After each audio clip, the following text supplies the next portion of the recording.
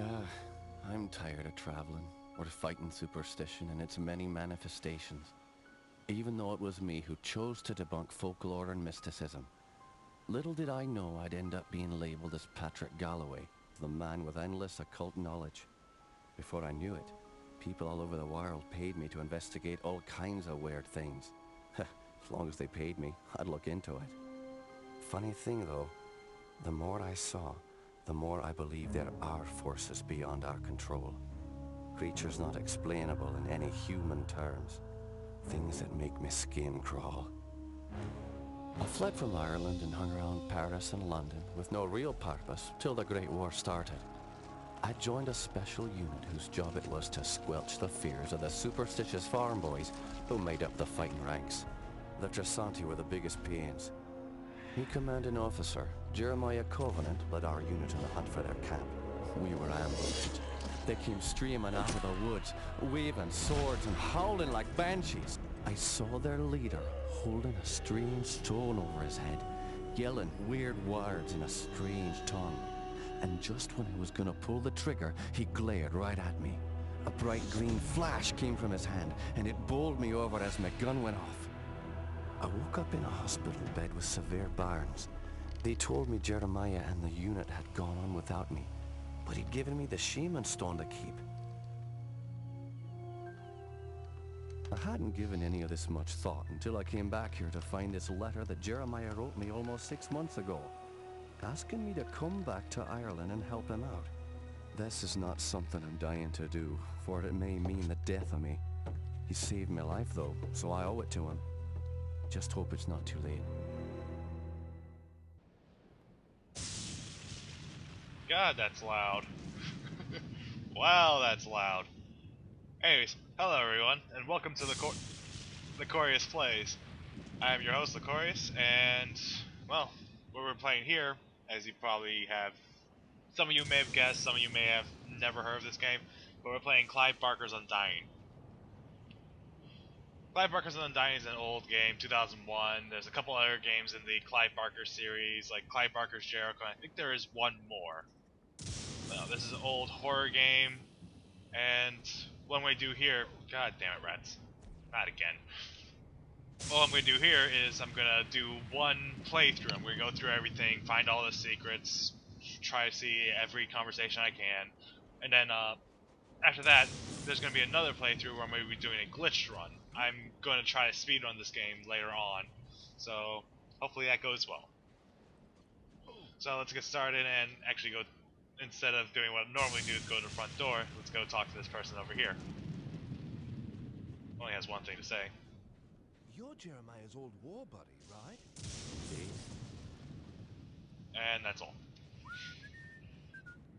Anyways, this is a great way to start the game. Oh yeah, by the way, scrying ability lets us see something that we normally wouldn't be able to see. Person hanging off the edge of the uh, lamppost. Lovely. That's why the rats are here. And bats! Two little bats. And they're gone. Well, let's get started.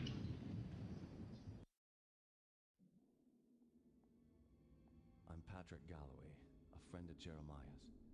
Sorry it took me so long to get here. His letter said it was most urgent.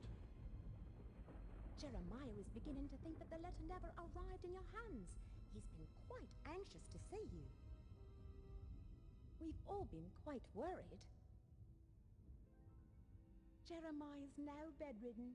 Follow me and I'll show you to his living quarters. Lovely attempt at Irish accents. That's all I gotta I say. apologize for the look of the house, but there's only a skeleton crew of servants now. Jeremiah let go of everyone else, and the house is much too large for us to clean.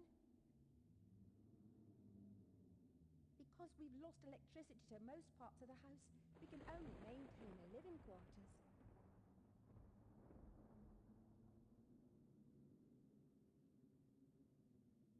Family's had so much tragedy. I hope you can help him.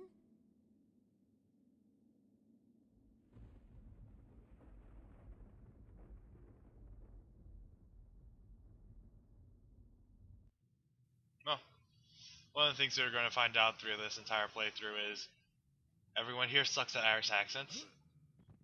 Every time we turn a corner, Well, not really every time, but we'll bump into people like this.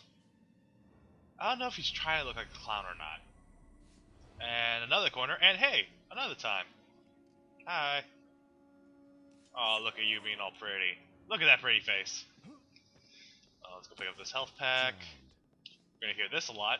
Jammed, Jammed. stuck, won't budge. Stuck. Yeah, anyways. Let's go into another fucking cutscene. Patrick, you made it. At your service, Jeremiah. Sorry for the delay, but I've been abroad. What happened to you? It seems I've come under the watchful eye of the Reaper, my friend. It's been a long time, hasn't it? Apparently too long. Uh, Patrick, I came back from the war only to find my entire estate in disarray.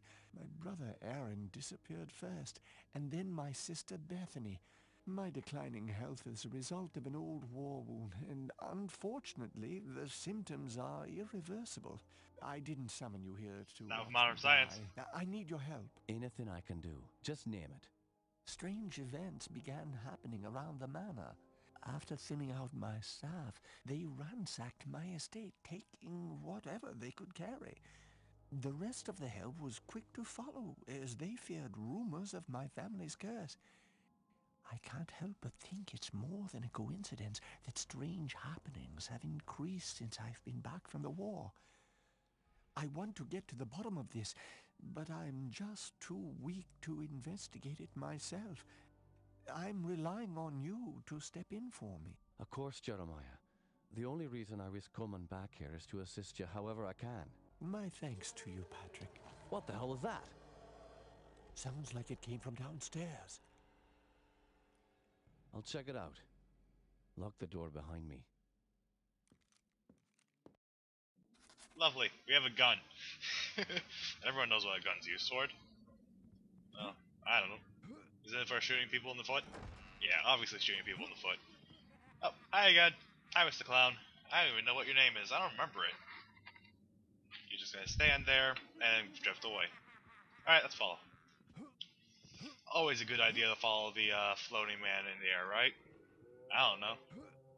Well, he's showing us the direction to go, I hope. Lovely. Oh. What was that? Door open? Oh, yeah. And here we go. Can you describe what you can only see? As the bonds of flesh are broken, the world becomes apparent. Alrighty then. Oh, let's go further down. That's not the doorway we're supposed to go through. So this door? Nope. That door. There we go. Alright, on to the next health pack. Obviously we need a lot of those. Well, not really. In a second you'll see why I don't, don't need that many health packs. Up, and scream. Not even gonna bother shooting at you. I'm gonna shoot at that. I have terrible aim. But yeah, as you can tell, I'm on easy. I suck. I suck at aiming. No, I don't want to do command. I want to reload. Don't know why caps lock is reload. There we go. Just continuing on. Wasn't there one right in here? Oh, there they are. No. Continuing on the stairs. I think there's something over there, but you know what? Mario halfway up the stairs. I might as well continue up. Do do. I really suck at aiming. Oh, you didn't die. There we go.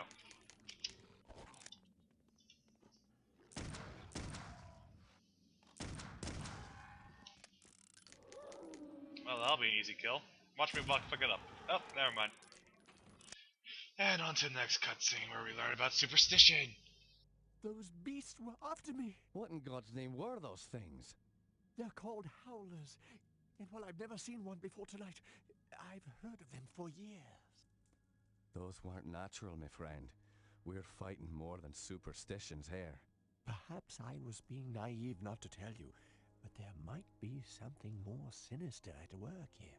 When I was aboard, I find hilarious how he just repeated what I said. I can't quite explain. You see, there was this isle of standing stones that sits just off the estate. Someone had carved a sigil into each of the stones, something indiscernible. Father had many books on the occult, one of which contained a sketch of that very symbol. I took my brothers and sisters out to the island and read from my father's book. Well, what happened? Something answered. The ocean began to boil, and a great wind whipped against us as we stood in the circle, and my siblings huddled to the ground in fear. Eventually, the wind died, and the sea settled. Patrick, I know it sounds like the ravings of a dying man, but I believe those standing stones had something to do with this. What has once been a taint upon this family has now begun to manifest itself. But you told me you're dying. Doesn't this curse end with you? Who knows? My brothers and sisters are dead, but I don't think they're really gone. I've heard some servants whispering. They think they've seen Lizbeth on the estate. My family has come for me. I sense them, Patrick. By now, you and I know the supernatural exists. You saw the Howlers. And what about our encounters with the Trsanti during the war? You still even carry the Gel'ziabar stone with you. It's a token of the shaman's life I took. That's all. I found a scroll with a picture of the Gel'ziabar. I believe it contains the way to awaken the stone's dormant power. Very well. Let me study this scroll overnight, and I'll see what I can do in the morning. This house still hides many secrets. I'm counting on you to reveal them and put an end to this mess.